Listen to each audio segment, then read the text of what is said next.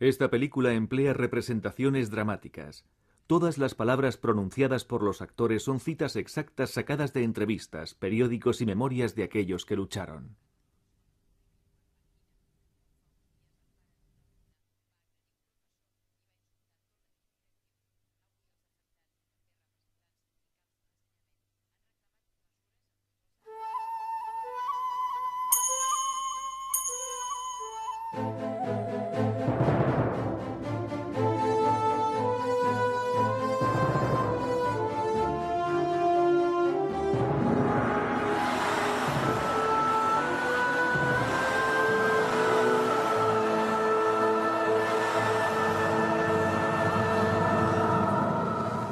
Corea, la guerra inacabada.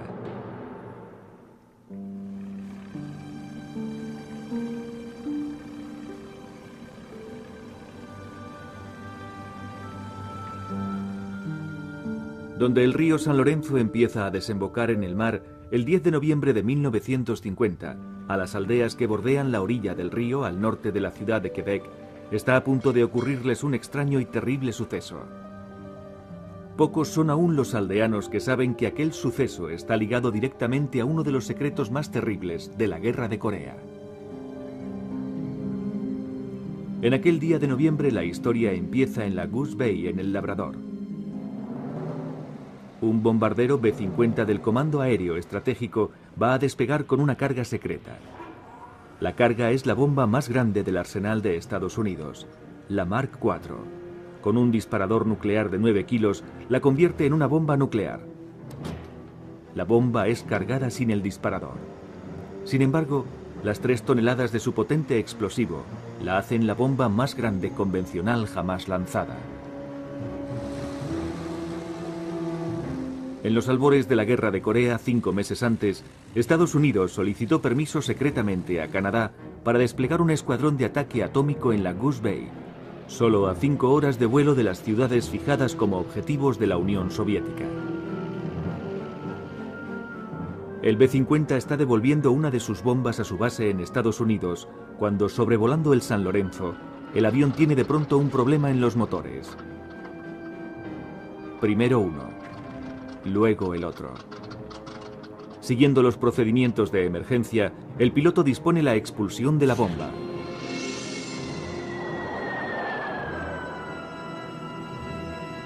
Preparándola para que explote a los 775 metros de altitud. Son las 4 de la tarde, un momento para el recuerdo para los que estaban abajo. Los periódicos del día siguiente informan de una explosión que ha hecho temblar la tierra, produciendo una columna de humo amarillo de casi un kilómetro de alto. Los aldeanos afirman que el suelo tembló en unos 40 kilómetros a la redonda, la historia de portada es relegada enseguida. Las autoridades mienten, diciendo que era un vuelo de rutina y que la explosión tan solo era una pequeña bomba para prácticas. Esto es parte de la historia secreta de la guerra de Corea, el camuflaje del enorme plan nuclear clandestino que se estaba llevando a cabo en caso de que Estados Unidos y sus aliados no tuvieran otros medios para ganar la guerra. Pero antes de recurrir a la bomba, el más famoso general norteamericano lanzaría una desesperada invasión naval sobre Corea.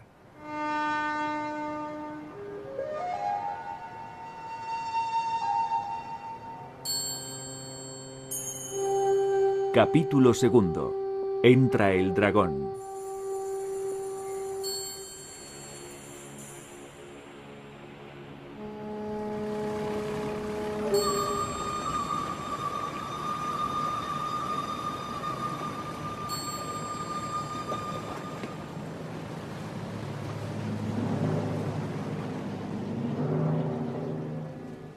Este es el puerto de Incheon, en Corea del Sur. Hace más de 50 años, los marines norteamericanos tomaban al asalto este bastión, sorprendiendo a sus defensores comunistas. Hace 50 años vine aquí a luchar. Hoy en Incheon, la sorpresa es diferente. Un momento de serenidad y de emoción para los veteranos visitantes cuando la clase de una escuela local visita el monumento. Mira. Fue una guerra siniestra. vio sufrir a los niños coreanos cuando él no era mucho más mayor. Así que este es un momento para saborearlo. Mi nombre. Donald. ¿Conocéis al pato Donald? Donald Gill. Don Gill, de Nueva Inglaterra, tenía 18 años y no estaba preparado para lo que le esperaba. Os enseñaré algunas fotos. Incheon, Seúl, la carretera. Este que sube corriendo por la calle soy yo.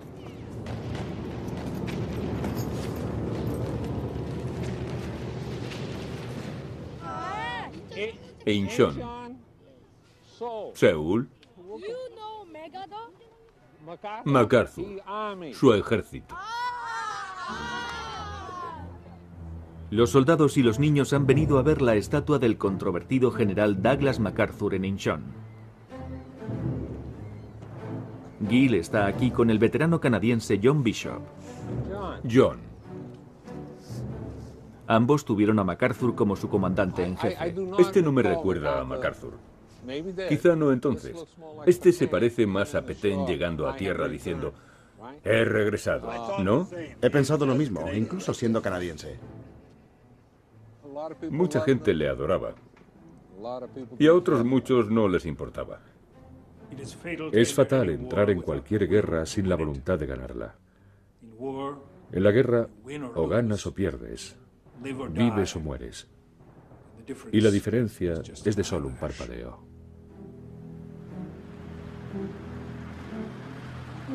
Septiembre de 1950. El general MacArthur está en Japón en su cuartel general supremo para Asia con cara de resolución. Pero el comandante en jefe de 70 años está perdiendo la guerra en Corea. MacArthur está preparando un nuevo plan, una atrevida estrategia para cambiar el curso de la guerra en Corea. El plan es recoger a las tropas estadounidenses atrapadas en Pusan y desembarcarlas en Incheon para sorprender a los enemigos norcoreanos por detrás.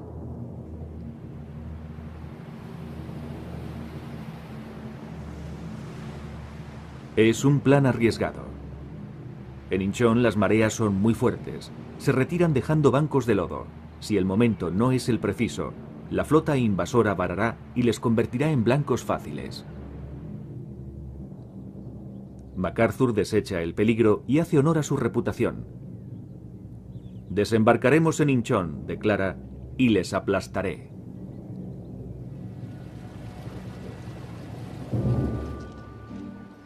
El 12 de septiembre de 1950, miles de tropas norteamericanas están embarcando en los buques de transporte que les llevarán a Incheon.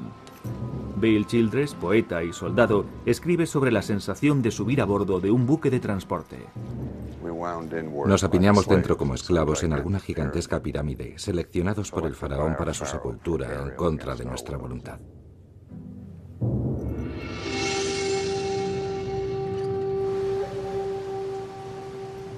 Con una falta tremenda de barcos para la invasión, Estados Unidos utiliza los buques y las tripulaciones de la derrotada Marina Imperial japonesa.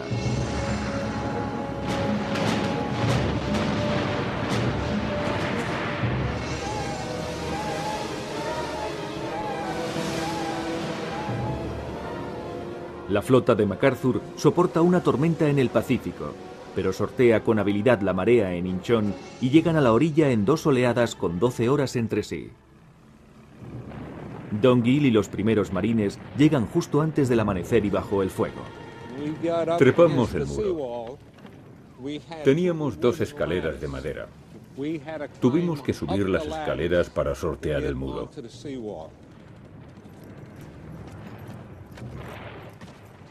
La primera noche, mi pelotón no tuvo ninguna baja y cogimos a 17 o 19 prisioneros.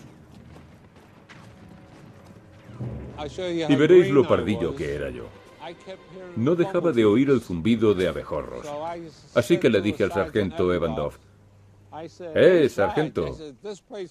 Este lugar está repleto de abejorros. Recordad que yo solo tenía 18 años. Y me dijo, ¿abejorros? Entonces se puso a escuchar un momento y oyó como una bala rebotaba en el suelo. y el ruido que hace al cruzar el aire es como el revoloteo de un abejorro. Y me dijo, estúpido novato, te están disparando, vete de aquí. Así que rodé hasta el otro lado de la carretera y se acabaron los abejorros.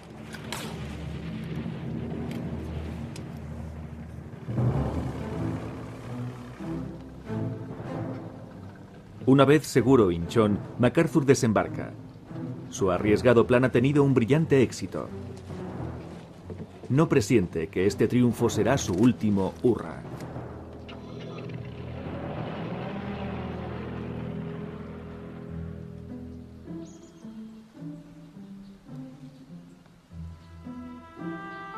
El desembarco en Inchón y el avance de Estados Unidos ha cambiado el curso de la guerra y está teniendo un profundo impacto en todos los coreanos. Yu Chun-do es una médica jubilada que vive en Seúl, Corea del Sur. Pero en los otoñales días de 1950 se encontraba en el otro lado. Era una doctora que servía en el ejército de Corea del Norte. Se unió a su causa esperando construir una Corea revolucionaria, con reformas para el campo y el final del feudalismo.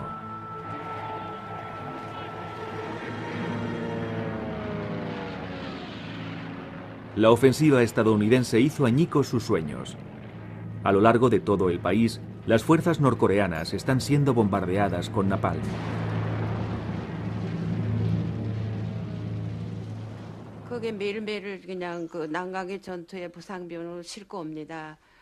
Traían a los heridos. Todos los días había gente que perdía sus extremidades. Chicos monstruosamente hinchados debido a las bombas de napalm.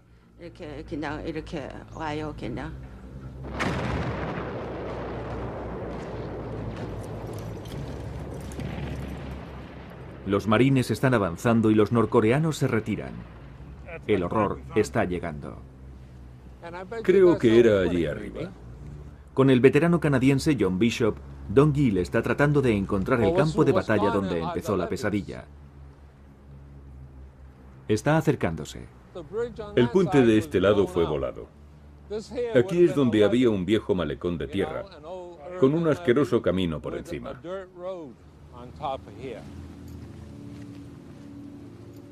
Entonces dijeron, primer pelotón, compañía Baker, adelante.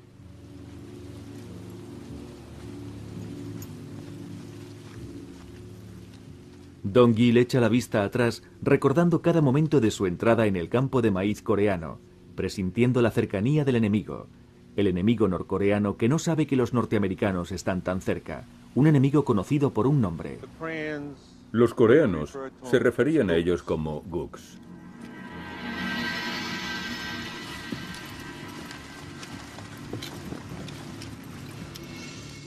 Los marines prepararon una emboscada y los norcoreanos cayeron directamente en ella.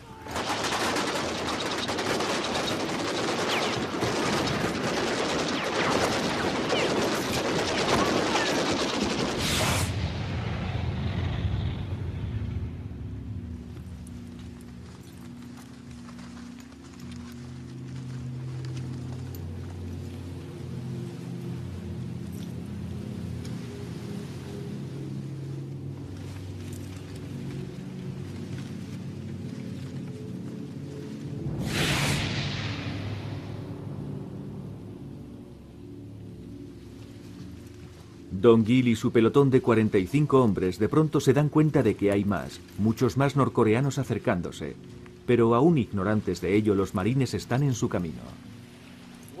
Nos superaban con mucho en número. Lo único a nuestro favor es que llegaban en grupos de 20 o 30 a la vez. Les disparamos a todos. Les tumbamos a todos. Fue despiadado. De los caídos, algunos se levantaban y empezaban a correr entre el maíz. Así no podíamos verles. A alguno le matábamos allí.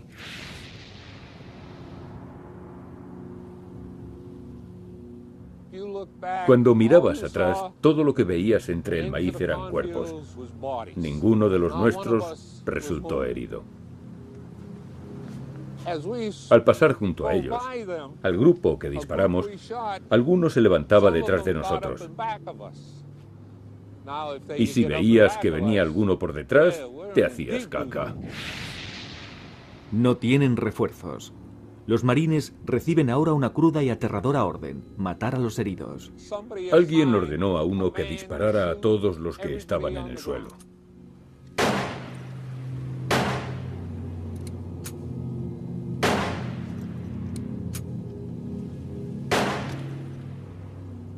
Cuando disparas a un hombre en el suelo, rebota.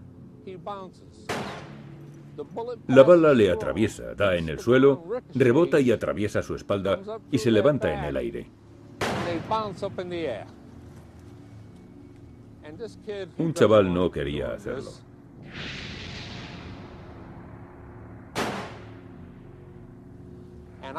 Yo me puse muy nervioso. Temblaba tremendamente y le dije, dispárale a la cabeza. Dispárale a la cabeza. Dispárales a todos en la cabeza. Y luego me dije a mí mismo, caray, ¿yo he dicho eso? Y entonces él empezó a dispararles a todos en la cabeza.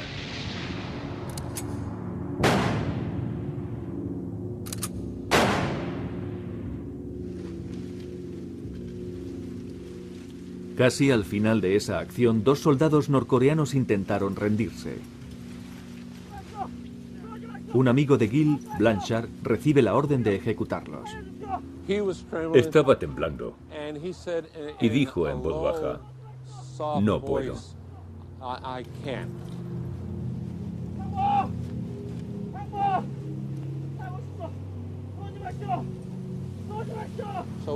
Así que cogimos a los dos prisioneros. Luego, una unidad de los marines surcoreanos llegó hasta nosotros y alguien les entregó a nuestros dos prisioneros.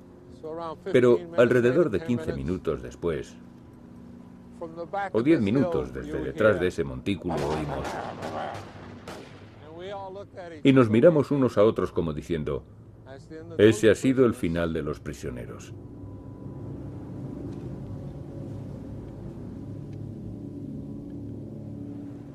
Lo que hicimos, un ser humano normal no lo haría. Pero nuestros superiores, quien fuera, sargentos, tenientes, tenían la orden de proteger a sus hombres, porque si se hubiesen levantado, nos hubieran matado. Nadie cometió ningún crimen de guerra. A él, probablemente, eso no le ha dejado dormir. Digo él porque no sé quién fue. Seguro que no durmió bien desde aquel día, pero dio la orden correcta.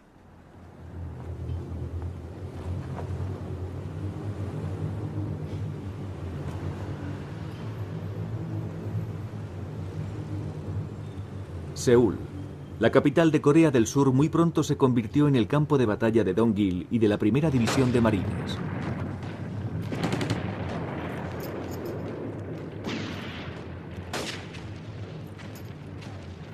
Lucharon calle por calle en cada edificio con los fotógrafos de guerra metidos en todo el meollo tratando de captar la acción. Margaret Higgins del New York Herald Tribune también está aquí, la única mujer corresponsal de guerra.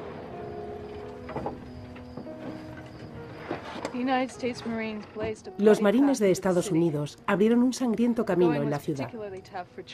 El avance hacia el centro de Seúl fue particularmente duro para la compañía Charlie de la primera de marines. No sabíamos que la carretera estaba fuertemente minada hasta que un coche médico nos adelantó corriendo. Saltó por los aires justo delante de nosotros. De los tres que iban, solo sobrevivió el médico, pero su cuerpo desgarrado y su cara hecha jirones y ensangrentada era una visión espantosa.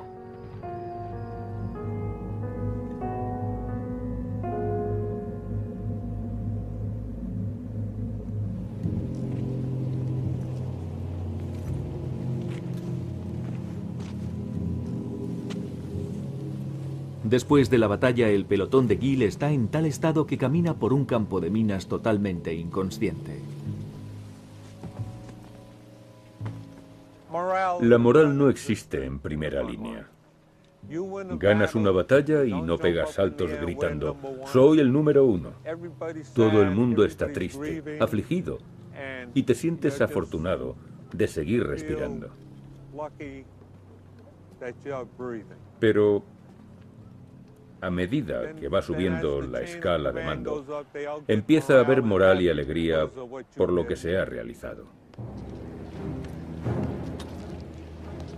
Los marines reconquistan Seúl y el general MacArthur vuela desde Japón para la celebración. Un oficial dice que le prestó más atención que a Incheon. Organizado el retorno de Sigman Rhee, se completa con un desfile de bienvenida por el regreso a la capital de Corea del Sur de los líderes derechistas. Me moví rápidamente para restablecer de nuevo el gobierno de Corea en Seúl. El presidente Rhee me agarró las manos y dijo, te admiramos. Y las lágrimas rodaron por sus mejillas.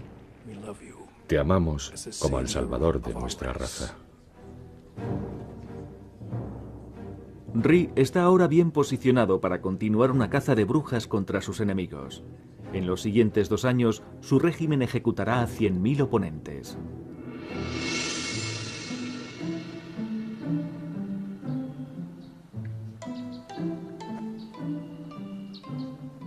Vives si tienes suerte, mueres si no la tienes.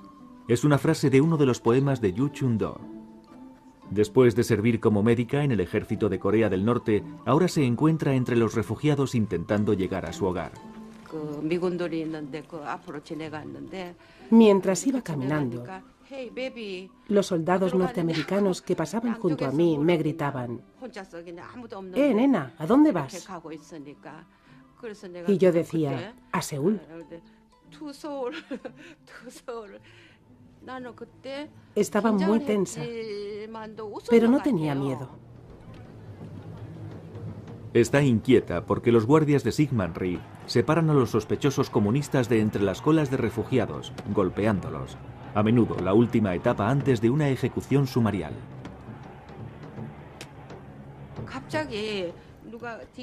Luego, después de haber estado andando un rato, alguien me agarró desde atrás y dijo, tú eres comunista, deberías morir. Sentí que dos balas pasaban rozando mi cabeza y mentalmente empecé a contar. Uno, dos, tres. Creí que me habían dado. Así que me caí al suelo sin pensar.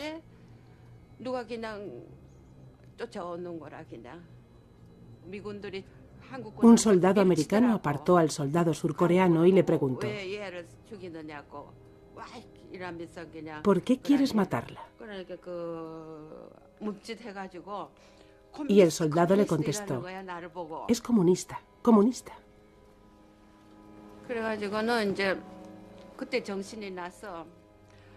Yo le expliqué que no era comunista, sino una estudiante. Así que empujó a un lado al soldado surcoreano y me dio la mano para que montara en su jeep. Luego me subió sobre el parachoques y muchos soldados americanos me dieron chocolate. Así que fui sentada sobre el parachoques con el regazo lleno de chocolatinas.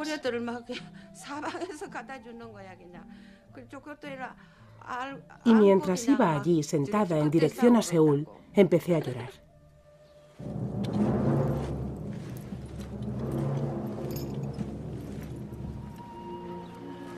Una filmación de propaganda norteamericana nos cuenta una historia parecida. Caramelos y chicles para los niños. Pero hay que enseñarles cómo se comen. Pobrecitos y asustados pequeñines. La mayoría de los soldados vieron una guerra distinta. En sus combates, Don Gil recuerda a una niña huérfana en la masacre del campo de maíz.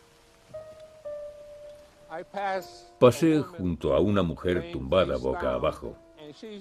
Estaba llena de agujeros de bala y sentada en su cabeza había una niña pequeña. Y el brazo izquierdo de la pequeña había desaparecido. Así que llamé al jefe del pelotón y le dije, aquí hay una pequeña, tenemos que hacernos cargo de ella. Era una de esas niñas pequeñas orientales, monísima, con el pelo cortado. Y se quedó mirándome allí sentada. Y ella solo miraba, ni lloraba ni se quejaba, tan solo me miraba mientras pasaba junto a ella. Yo continué mi camino con el grupo. Y hasta hoy en día, a menudo, me pregunto qué habrá sido de esa pequeña.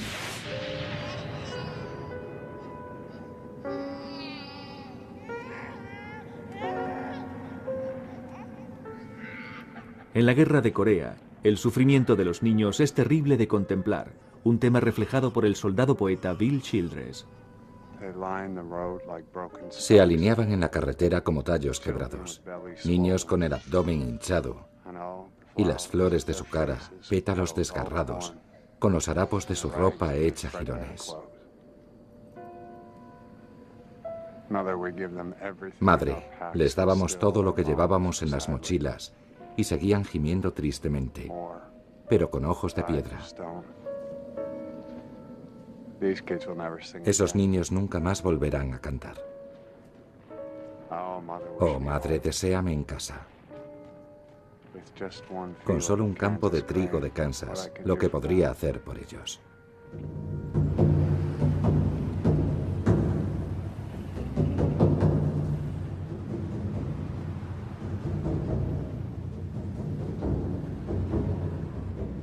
La historia de Corea del Norte habla de una retirada de lucha gloriosa después del desembarco en Incheon y de su derrota en Seúl. Kim Tae-hwa era un jefe de batallón de 23 años. Después de que el enemigo desembarcara en Incheon, nos dieron la orden de retirarnos de modo temporal.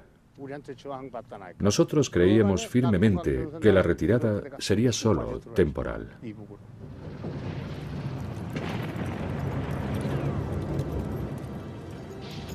Incluso en retirada, el ejército norcoreano es una fuerza de combate peligrosa, tal como Dongil y su compañía de marines están a punto de descubrir.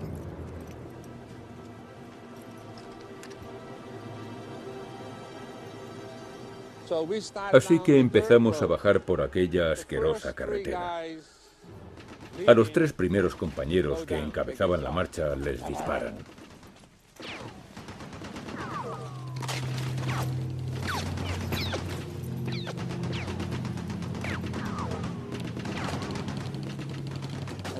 El sargento Brink, que está justo detrás de nosotros, se ha tumbado en el suelo, pegado al suelo. Y no sé qué le pasa por su mente, porque dejando su fusil en el suelo, se levanta y dándose golpes en el estómago grita,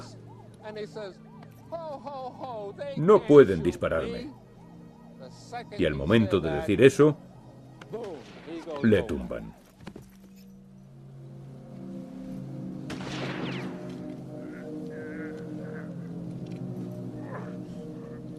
Podíamos oírle gruñir. Y Holloway me dice, vayamos a por él. Y Holloway se acerca a él y se inclina para recogerle. Pero al inclinarse, recibe un disparo en una mejilla que le sale por la otra. Se cae y mirándome me dice, quédate ahí, Gil. Se da de nuevo la vuelta, coge a Brink y le arrastra hasta nosotros. Estaba loco, furioso. La bala le entró por aquí arriba. Pasó por el conducto nasal, al final del paladar, a través de la boca, y le salió por debajo de la barbilla, sin tocar ni un hueso.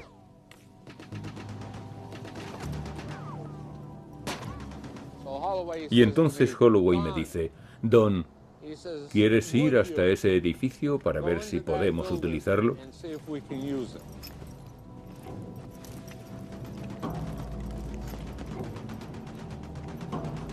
y corrí hasta el edificio. Disparaban balas trazadoras a través de él. Entraban por un lado y salían por el otro. Ahora tenía que armarme de valor para regresar de nuevo en medio de todo aquello. Volver junto a Holloway para decirle que no nos servía. Sin darse cuenta del peligro, más marines van detrás de Gil. Yo grité, ¡eh, no vengáis aquí! No traigáis a los hombres, es una ratonera. Pero los hombres entraron corriendo. Flanagan, Bor, Bruno. Bor y Bruno tenían 18 años. El que se quedó más rato en pie recibió los disparos.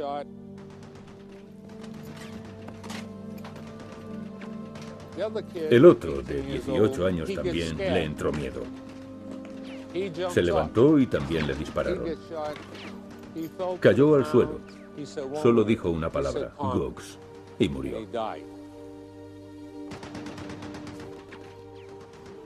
Así que nos encontramos en un edificio del que no podíamos salir.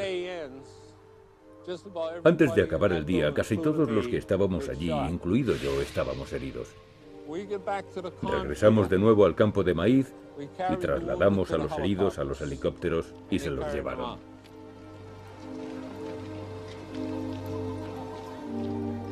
Las víctimas estadounidenses, coreanas y de Naciones Unidas aumentan con rapidez.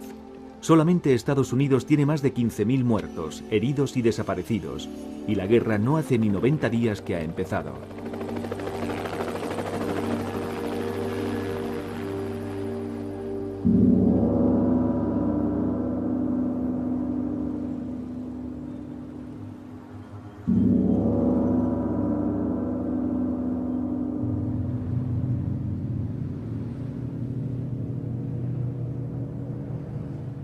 En China, en la residencia veraniega del líder, el ánimo es sombrío.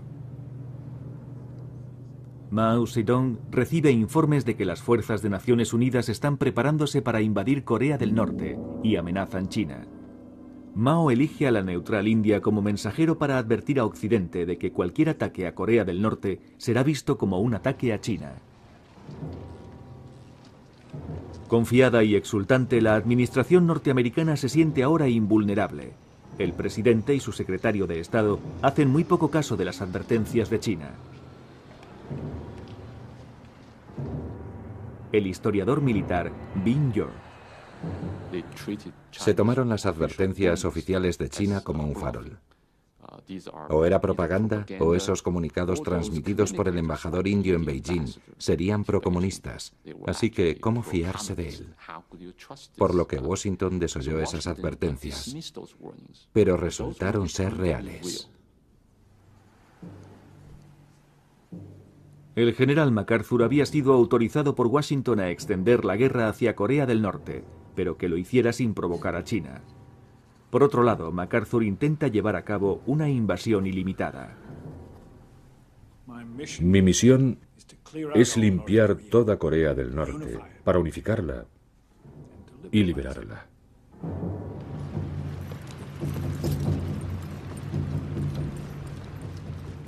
Incluso antes de que Washington dé la orden, el ejército de Sigmund Rhee cruza el paralelo 38 e invade Corea del Norte.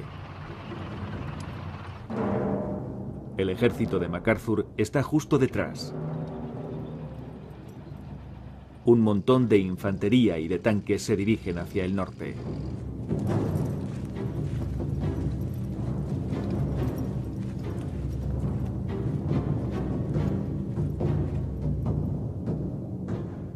A principios de octubre las fuerzas norteamericanas en cabeza avanzan a través de las montañas en un frente dividido dirigiéndose hacia el río Yalu, la frontera con China.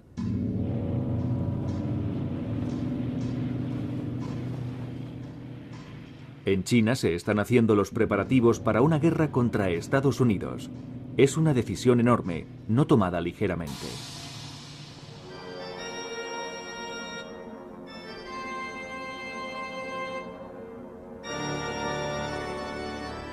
Nada alarma más a los chinos que la amenaza de la bomba atómica.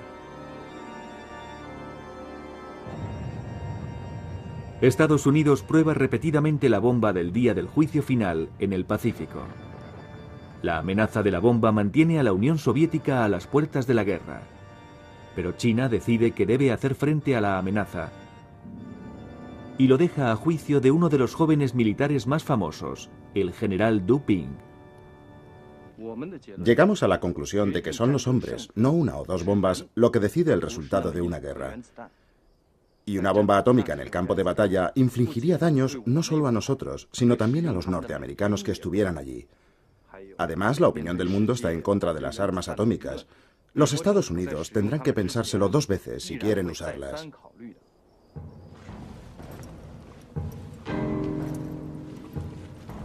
Las unidades chinas empiezan a entrar secretamente hacia Corea, cruzando el Yalu por la noche en unos puentes especiales construidos justo por debajo de la superficie del agua.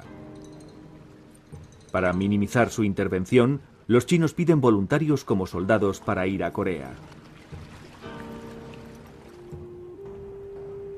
Mientras el ejército chino se despliega, el ministro de Asuntos Exteriores despacha en Moscú para asegurarse armas y lo más apremiante, soporte aéreo soviético contra el poder aéreo estadounidense. El líder soviético, Joseph Stalin, le saluda como a un camarada, pero les concede poca cosa. Sin deseos de enfrentarse a Estados Unidos, Stalin le promete armas, pero no soporte aéreo en el interior de Corea. Fue un golpe para Mao. El 12 de octubre, en cuanto recibe el telegrama desde Moscú, Mao interrumpe el cruce del río Yalu al ejército chino. Finalmente, Mao piensa que si China no lucha contra Estados Unidos en Corea, más pronto o más tarde los norteamericanos invadirán China con la intención de destruir su revolución. Así que, con o sin soporte aéreo, deben luchar. La nuestra es una causa justa. Y una causa justa es invencible.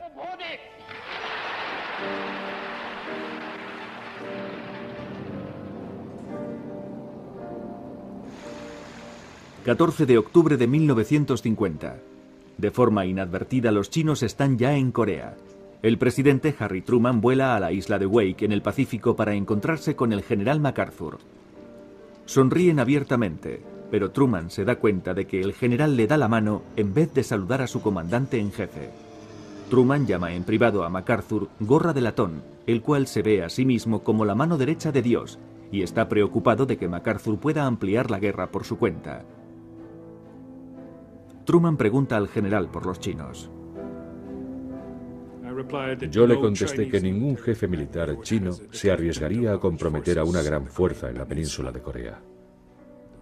El riesgo de su destrucción total es demasiado grande.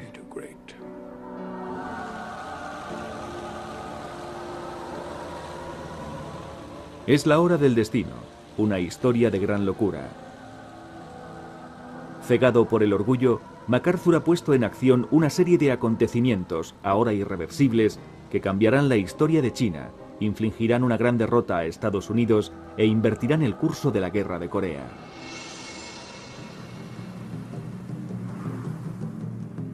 En las montañas de Corea no hay duda de que han llegado los chinos y están empezando a entrar en contacto con el ejército norcoreano.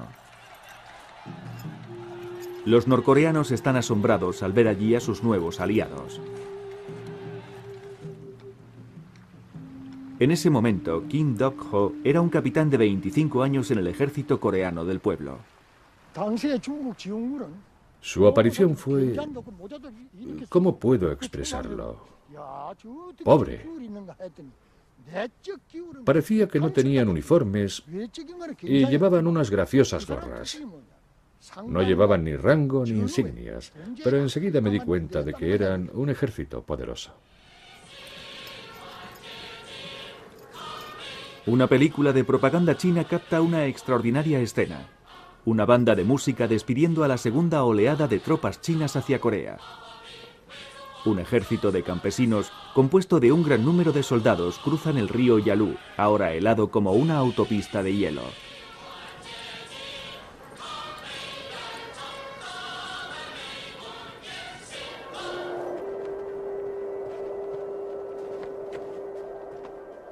Mientras, en el interior de Corea los soldados norteamericanos capturan a algunos de los líderes.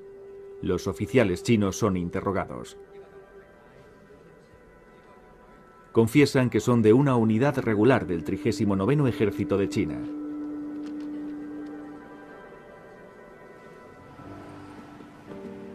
El general MacArthur informa de ello y de los cada vez más numerosos informes de inteligencia, pero no quiere creerlos. Dice que los chinos deben de ser voluntarios luchando por su cuenta. El 24 de noviembre de 1950, MacArthur vuela sobre Corea del Norte a lo largo del río Yalu para reconocerlo por sí mismo. Lo que ve le hace reafirmarse más. No hay ni rastro de los chinos. Todo lo que se extendía ante nuestros ojos era una extensión sin fin de tierra completamente árida. Colinas dentadas, enormes grietas y las negras aguas del Yalú, encerradas en el abrazo mortal de la nieve y el hielo. MacArthur no ve nada del enorme ejército chino, unos 375.000 hombres, que se ocultan en las montañas que sobrevuela. Y hace una atrevida predicción. La guerra terminará, dice, por Navidad. Nada supuso tanto para nuestra moral y nos dio tanta alegría como esta frase. Estaréis en casa por Navidad.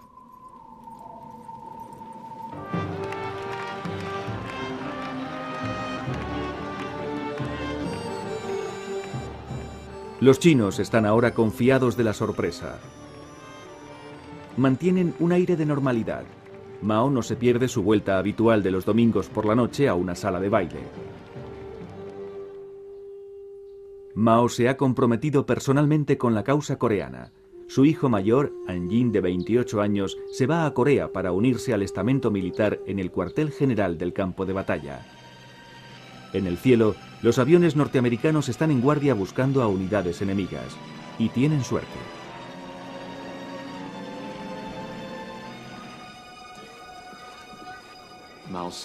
El hijo de Mao creo que estaba en un cobertizo, en una granja de campesinos coreana, y fue destruida. Utilizaron napalm u otros agentes muy efectivos que la quemaron. El hijo de Mao murió, pero creo que se lo tomó, bueno, como algo que podía ocurrir y ya está. No puedes enviar a tu hijo al campo de batalla y pensar que volverá felizmente. Pero fue algo tremendo para Mao.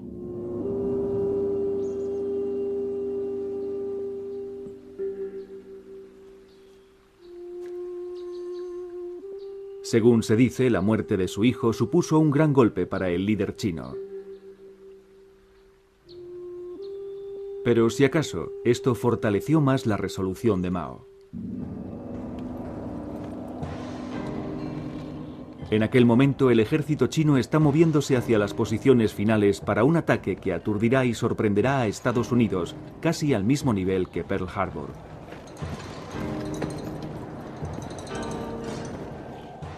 Los generales chinos tienen ahora la estrategia para enfrentarse al ejército de Estados Unidos.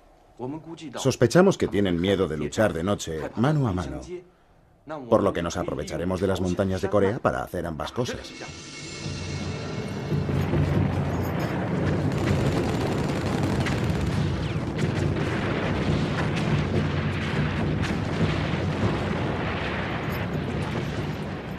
El martes 27 de noviembre y a 23 grados bajo cero, el ejército chino y las fuerzas norcoreanas atacan a lo largo de todo el frente.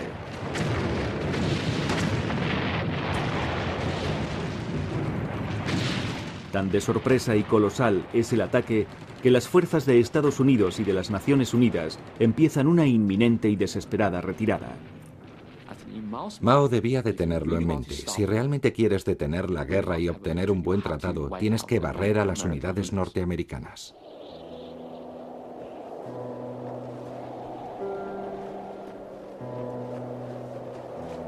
Bajo la nieve y con el frío, las fuerzas de Estados Unidos recogen a sus helados muertos.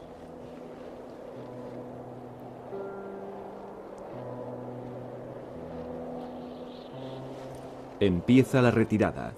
La gran marcha atrás, en palabras de un general norteamericano. La historia oficial de esa guerra de Estados Unidos no ensombrece su juicio al llamarla la retirada más grande y la más humillante en la historia de Estados Unidos. La corresponsal Margaret Higgins la presenció. La caldera del Valle coreano ha sido lo peor en la historia de los marines. El terrible camino a través de las montañas ha costado más vidas que en Hiroshima. Hay cerca de 5.000 víctimas entre el ejército y los marines, incluidos muertos, desaparecidos, heridos o mordidos por el hielo. No olvidarán la palabra mordidos por el hielo. Para muchos marines eso significa dedos de pies y manos, piernas y pies amputados.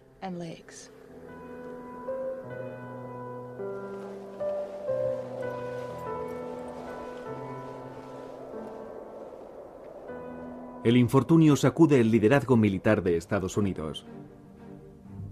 MacArthur está desfasado y sigue con el ataque.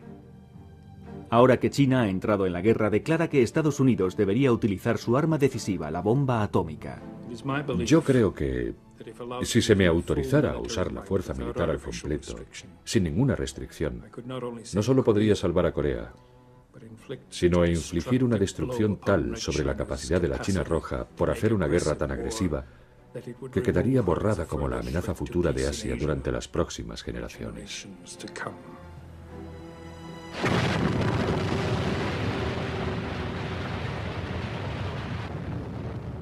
Como el presidente que ordenó el lanzamiento de las bombas atómicas en Japón cinco años antes, Truman es consciente del tremendo impacto y está decidido a no pasar a la historia como el hombre que dio la orden dos veces.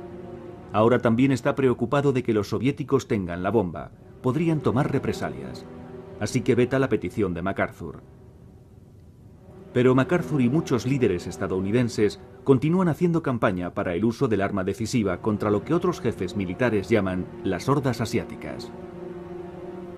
Creo que por parte de Estados Unidos, en general ven a China, a su gobierno comunista, como quizá el peor tipo de comunismo.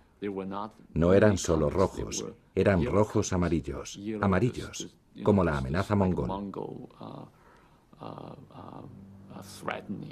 Por lo que puede decirse que hay ciertos rasgos de racismo. Acto primero del final de la guerra pero las pesadillas de aquellos que lucharon en ella solo han empezado. Os quiero a todos. Marines. Estoy buscando a mi amigo. Murió.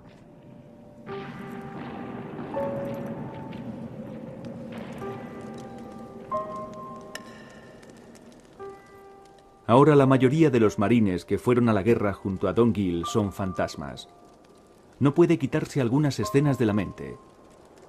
La noche anterior a que tuviera lugar la terrible batalla. Estaban alrededor de un fuego de campaña soñando con sus hogares. Gill recuerda beber en una taza metálica que le quemó los labios. Cree que fue la última hora de su vida que estuvo en paz consigo mismo al romper el día, todos los chinos se pusieron en pie y mataron a los soldados a los que llamaban Gooks, chicos de una edad similar a la suya, disparándoles en el pecho y luego en la cabeza cuando estaban ya tendidos entre el maíz. Todos cumplían órdenes.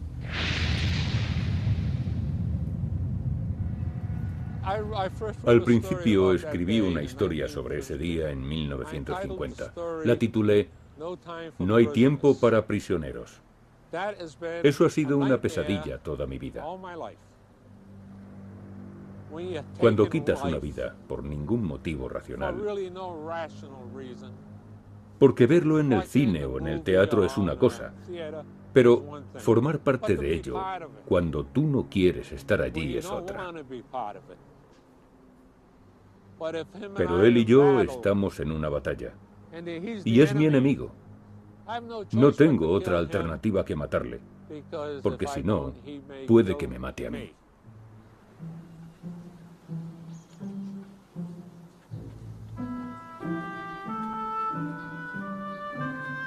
Yu Chun-do también está atormentada. Muchos de sus camaradas murieron y ella ha vivido una larga vida. Me ha invadido un sentimiento de culpabilidad durante mucho tiempo.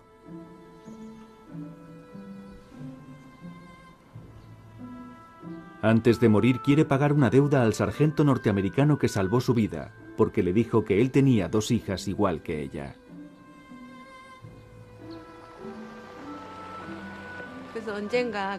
Desearía algún día poder verle y darle las gracias por su buena acción, aunque por entonces no era ya ningún jovencito. Y si ya ha muerto, al menos poder ver a sus hijas. Hay un montón de víctimas en los primeros nueve meses de guerra y solo está empezando. Las grandes batallas, mayores que las de Gettysburg, más que la de Normandía y también que la de Stalingrado, todavía están por llegar.